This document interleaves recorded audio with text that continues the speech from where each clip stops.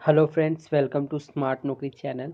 दोस्तों, आज हम आपके लिए लेकर आए हैं एक गुड न्यूज़। जी हाँ दोस्तों, एक गुड न्यूज़ है।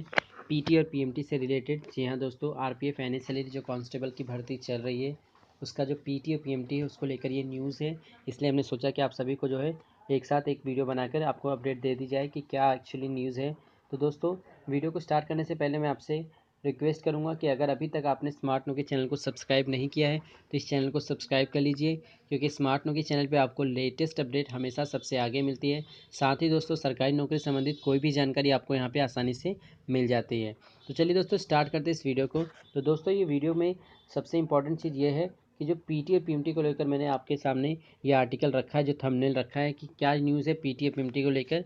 तो दोस्तों, ये न्यूज़ है काफ़ी लंबे समय से जो है, आप सभी को पता है कि जुलाई महीने से ही पीटी पीएमटी चालू है, लेकिन काफ़ी जगह पे जो है पोस्टपोन होते जा रहा है बिकॉज़ ऑफ़ रेनी सीज़न की वजह से। जी हाँ दोस्तों, बरसात की वजह से काफ़ी लंबे समय से पीटी और पीएमटी जो है लोगों का कैंसिल होते जा रहा है। मैंने अपने एक स्टूडेंट्स ने मुझे मैसेज किया कि उसका तीन बार सर मेरा जो है पीटी पीएमटी कैंसिल हो चुका। तो दोस्तों, आसनसोल से ये न्यूज़ है। जी हाँ दोस्तों, आसनसोल जो है पश्चिम बंगाल में पड़ता है। वहाँ के जो ग्राउंड से ये न्यूज़ आई है कि आसनसोल में जो है भारी बरसात की वजह से जो एक अगस्त, जो दो अगस्त को जो उनका पीटी होने वाला था। जी हाँ दोस्तों, ऐसा कुछ हुआ नहीं बिकॉज़ ऑफ़ वहाँ पे जो है बारिश रुक गई है और ग्राउंड सूख गया था, जिसकी वजह से उनका पीटी एक अगस्त को आसानी से हो गया। जी हाँ दोस्तों जिन जिन लोगों का जो है आसनसोल में पीटी या पीएमटी होने वाला है, उनके लिए बहुत ही अच्छी खबर है, क्योंकि उनका जो पीटी, पीएमटी है, वो दो अगस्त से लेके आठ अगस्त, नौ अगस्त जो डेट्स हैं अलग अलग डेट्स पे। तो अभी दोस्तों, आपको वहाँ पर बारिश का कोई भी परेशानी नहीं है हाल फ़िलहाल क्योंकि दोस्तों, वहाँ का मौसम बहुत ही अच्छा चल रहा है और एक अगस्त को जो है, यानी कि कल दोस्तों पीटी टी जो है, पूरी तरह से कंप्लीट हो गया।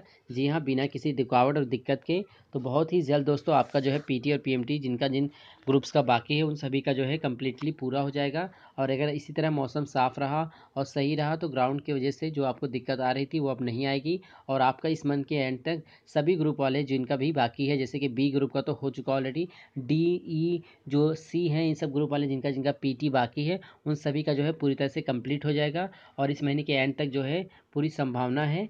पीटी कंप्लीट होने के बाद जो है आपको ट्रेड टेस्ट का जो है एडमिट कार्ड भी जारी कर दिया जाएगा। आप सभी को पता ही होगा कि ग्रुप बी का जो है पीटी पीएमटी क्लियर हो चुका था और उनका ट्रेड टेस्ट का भी डेट आ चुका है। इसी प्रकार दोस्तों जो बाकी ग्रुप वाले का है, वो भी सब इस महीने के एंड तक जो मंथ का एंड है, उस महीने तक आप उम्मीद कर सकते हैं। अगर भारी बरसात ना हुई और इसी तरह मौसम साफ़ रहा तो आपका भी एडमिट कार्ड जारी कर दिया जाएगा। उम्मीद करता हूँ दोस्तों आपको वीडियो और जानकारी पसंद आई होगी। अगर वीडियो पसंद आई है दोस्तों तो इस वीडियो को लाइक करना ना भूलें। साथ ही दोस्तों, स्मार्ट नौकरी चैनल पे सब्सक्राइब का जो बटन है, उसे ज़रूर दबाइएगा। साथ ही दोस्तों, बेल आइकन को भी दबा दीजिए ताकि हम जब भी अपनी नेक्स्ट वीडियो एक नई जानकारी के साथ लेकर आएँ तो आपको उसकी नोटिफिकेशन सबसे पहले मिल जाए। थैंक यू सो मच दोस्तों। मिलते हैं अपने नेक्स्ट वीडियो में एक नई जानकारी के साथ।